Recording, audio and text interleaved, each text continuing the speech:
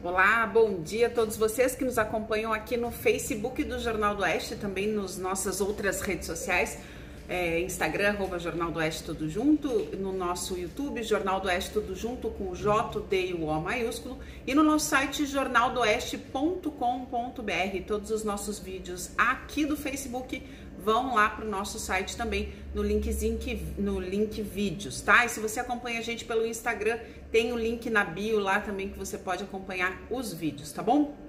Bom, pessoal, segunda-feira, 3 de maio, começou o mês e estamos em Toledo com 26 graus. Como eu havia dito para vocês, há, há, uma previsão é, de tempo aí meio, meio é, quentinha, abafada e com muito sol para os próximos dias, né? Na, na sexta-feira a gente tinha apresentado aí para todos o plano dos próximos 15 dias e não havia previsão de chuva até o dia 14 de maio. Já nesse posicionamento de hoje, do porque quando, quando são muitos dias, né, acontecem essas divergências aí, né? O, os próximos é, 15 dias, aí até o dia 14 de maio, no caso, como a gente tinha falado na sexta-feira, já há uma previsão de chuva na, no dia 12 de maio. Então vamos ficar atento aí, vamos, vamos cuidar dessas, dessa previsão.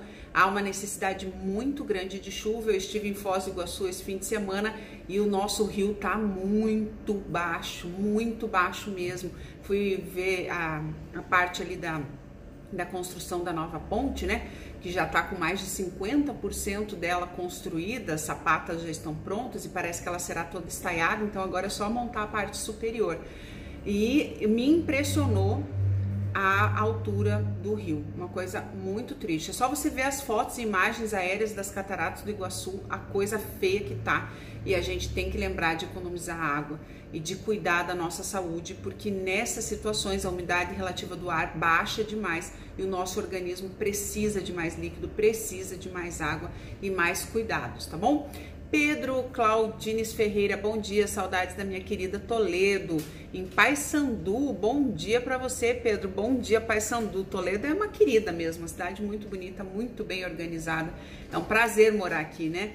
Bom, pessoal, é, tá acontecendo então, gente, a vacinação hoje para acima de 60 anos, tá? Só que o que está acontecendo? Hoje, apenas até o meio-dia, primeira dose de 60 anos ou mais apenas até o meio-dia nos três pontos: CERT da Vila, Copa, Vila Pioneira, CERT do Copagro e Ginásio de Esportes Uguzene, até o meio-dia. À tarde, do meio-dia às 4 horas da tarde, segunda dose para aqueles que na carteirinha está escrito 3 de maio, tá bom? É, das, da meio-dia às 16 horas, para a segunda dose dos idosos e também dos profissionais da área de saúde. É, é uma data diferenciada. Segundo as informações que a gente recebeu aqui agora há pouco, é, vai acontecer hoje à tarde uma reunião da Secretaria de Saúde aqui de Toledo, né, para organizar as novas doses que nós vamos receber, que o, o diretor da 20 Regional de Saúde, o Alberi, nos falou que já já recebeu a informação que até quarta-feira Toledo deve receber mais doses é, vindas aí do governo federal que chegaram hoje de manhã no aeroporto Afonso Pena, em São José dos Pinhais, região metropolitana de Curitiba. Então, amanhã, né, é, pre é previsto vacinação amanhã e quarta-feira aqui em Toledo, vacinação para cidades do interior, como foi feito na semana passada e nós divulgamos. Assim que tiver esse cronograma, a gente informa vocês aqui no Facebook do Jornal do Oeste, na, no nosso Instagram e no fim de tarde com o editor, com Márcio Pimentel, que ele vai também trazer aí para vocês essa informação. Bom, pessoal, é, também há aí essa, essa previsão, essa boa notícia, né? Que o Paraná recebeu então agora há pouco é, um, é, 4.200, é, 4 mil desculpa, 424.260 imunizantes, sendo eles 32.760 da Pfizer, que é uma empresa norte-americana, está autorizada a vacinação no Brasil, só que ela exige que ela, essa vacina fique é, armazenada em menos 80 graus Celsius. Ou seja, é um freezer especial. O Paraná conta com sete freezers desses e a orientação do Ministério da Saúde é que sejam vacinadas apenas as populações das capitais, que tem esse tipo de armazenamento. Então, essas 32.760 doses serão vacinadas no momento na cidade de Curitiba, aqui no estado do Paraná. Após né, o, o processo de andamento, se eles houver, verem a necessidade, acredito eu, de transferência desses freezers para outras cidades, né, porque também conta aí com transporte, esse transporte tem que ser muito delicado a gente vai também trazendo as informações para vocês.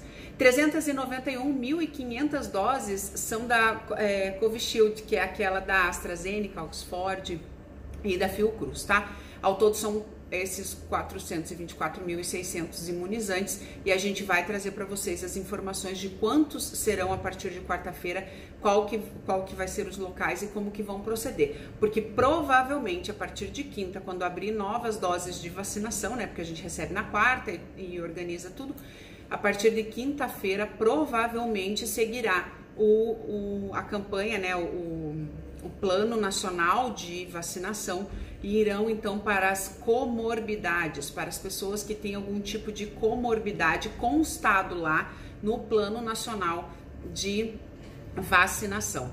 Essas informações bem certinho a gente traz quarta-feira para vocês aqui no Tem de Tudo para ver se você se engloba e o que, que você precisa para provar que você tem essa comorbidade, tá bom? Um bom dia para o Edson Ferreira, para Lisete Gucci, a Mari Chaves, é, para que todos, né, que Deus proteja todos nós.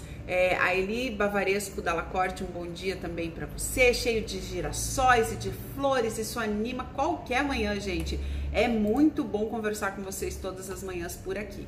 Bom, pessoal, é, na semana passada, o, a Secretaria Municipal de Assistência Social divulgou a questão da distribuição das cestas básicas, das famílias que estão em vulnerabilidade social e tudo mais, né? O critério do acesso para o programa Renda Cidadã, é, que trata aí dessas famílias que estão em extrema pobreza, elas têm que estar integradas no cadastro único dos programas sociais, que é o famoso CAD único, tá?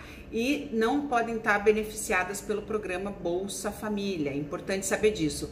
É, essa necessidade de apoio para a população foi então aí detectada segundo a própria Secretaria de Assistência Social e Proteção à Família e também pela necessidade de aumentar a, o auxílio da alimentação porque está havendo uma procura maior. Então vai até um centro de referência de assistência social, que é o famoso CRAS, e verifica lá se você tem direito a receber. Segundo o post divulgado pela secretaria, é, quem irá poder receber? As famílias beneficiárias já constam no cadastro único e devem aguardar o contato telefônico da Secretaria de Assistência Social de Toledo para o agendamento do atendimento. Como será o pagamento? O pagamento será efetuado através da conta bancária da pessoa identificada como responsável familiar no cadastro único, tá?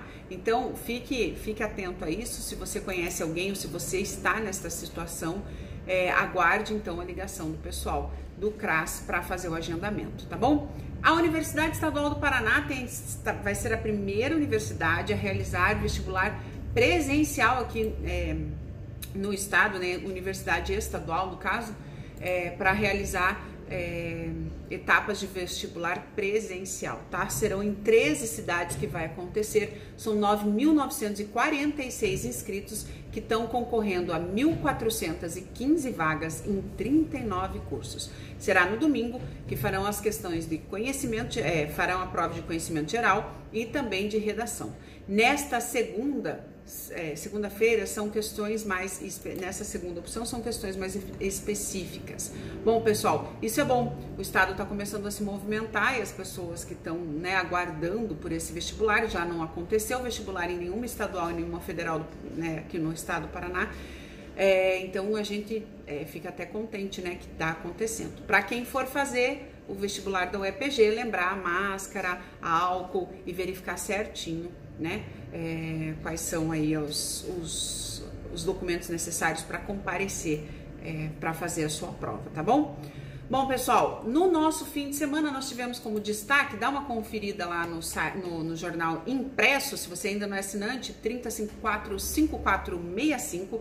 É, segundo algumas, eu estou agora sem essa informação do local de, de estudo, mas segundo esse estudo realizado, no Brasil e em vários lugares do mundo, o jornal impresso ainda é o que traz mais credibilidade aos leitores. Então, se você ainda não tem a tua assinatura para ter informação é, no, é, no, no tempo certo, da forma certa, sem fake news, 3054-5465.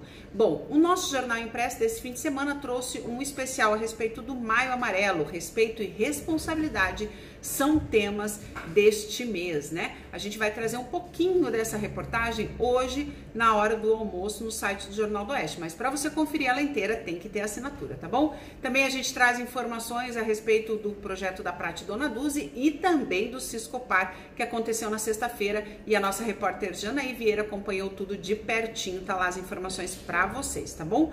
Mais informações, mais notícias, jornaldoeste.com.br, a gente traz tudo para manter você muito bem informado, tá bom? No nosso Instagram, arroba Jornal do Oeste, também tem lá um link que vai para um, um, um cardápio, digamos assim, que você pode escolher se você quer ir direto para a editoria de Toledo, se você quer ir direto para a editoria do estado, ou se você quer ir para geral, se você quer ir para a região, conforme o que você tem vontade de ler aí, você clica direto. Se você quer dar uma passeada no nosso site, também tem lá o clique direto para você ir dar essa passeada e ficar sabendo de tudo. Nós temos no nosso site do Jornal do Oeste, a, a, que estava circulando aí no fim de semana, mas ainda está lá em destaque, uma entrevista muito interessante com Mário Sérgio Cortella e abre aspas aqui, não seremos idênticos nem seremos inéditos. Esta é o assunto aí da entrevista e da conversa com Mário Sérgio Cortella que o site do Jornal do Oeste traz lá para você, tá bom? Pessoal, um beijo todo, a todo mundo. Fiquem bem, fiquem com Deus e atentos aqui nas nossas redes sociais que a gente vai trazendo informações a respeito da vacinação para você, tá bom? Fiquem bem e até mais. Tchau, tchau.